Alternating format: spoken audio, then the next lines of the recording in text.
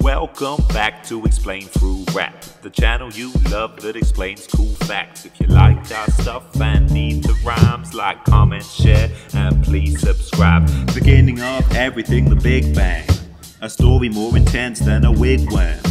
The idea the universe was suddenly born and is not infinite, it's something we're taught. Up to the middle of the 20th century, scientists had a few different perspectives. See, they thought the universe was infinite, ageless. Then Einstein came along, his work amazed us. Gave us a better understanding of gravity, provided us with some much needed clarity.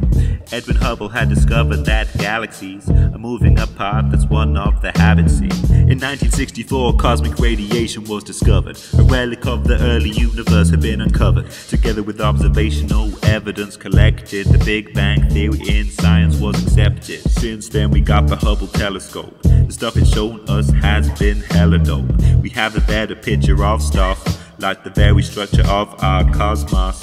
Observations suggest expansion of our universe is accelerating, but how can all of this truly work? How can something come from nothing? How can something come from nothing? I'll tell you. First off, so I make sure I show them. The Big Bang was not an explosion.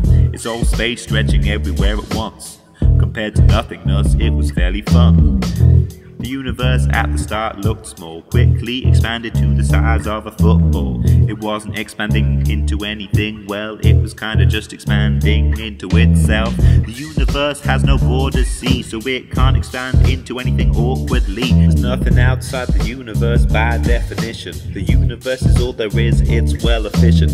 In a hot, dense space, energy emerged in particles that we evidently learned only existed for a tiny fraction of time. Then some weird stuff started happening like from gluons, pairs of quarks were created, which destroyed one another, sort of basic. After giving off more gluons that made it to other short-lived quarks that they played with, the gluons and quarks went to interact, forming new quark pairs of gluons. They're into that. Matter and energy weren't just theoretically equivalent. It was so hot I get actually ambivalent. Matter and energy were baking.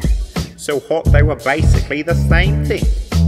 Antimatter won the war against matter when they decided who was the best matter. Today, almost no antimatter is left. How this happened is just a bit of a guess. But one billion and one matter particles fall for every billion antimatter particles, sure. Instead of one massive ultimate force in the universe, there were a few different types doing work, acting under different rules to will them. But now the universe stretched to over a billion kilometers in diameter. Ooh, wow.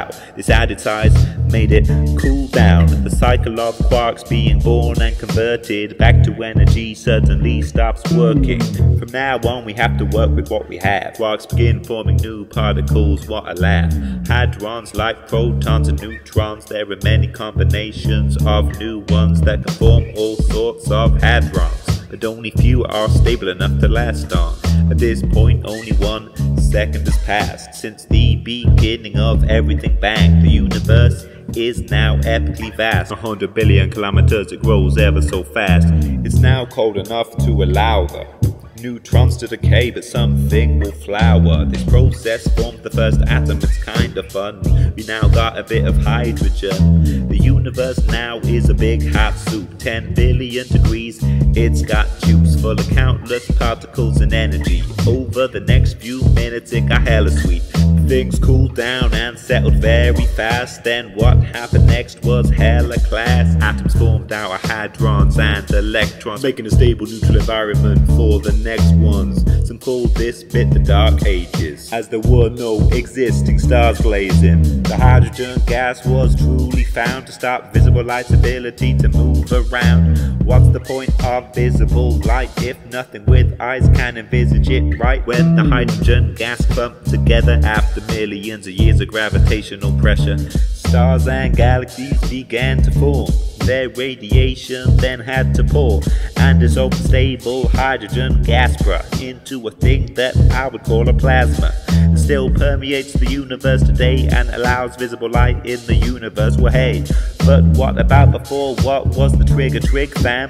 This is known as the Big Bang. We don't know what happened, hey now at this point our science and tools break down.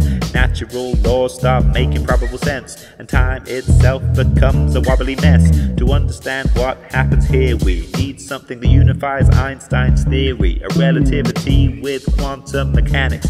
Scientists are working on this with the magic. There's many unanswered questions, fun to ponder. Fam, were the universes before ours? I wonder, man, did something start this wondrous bang? Or did it occur naturally from laws we don't understand? We don't know and maybe never will. But we know it started here and better still. It gave birth to particles, stars, and everything. We're made of dead stars, the chance was very slim. So be grateful for your existence, it's crazy. The chances of you existing are amazing. If you have a request, please comment that with a topic you want. I'll drop a rap. I'm no physics expert, I'm just nice with the rhymes that helps the channel. If you click like and subscribe.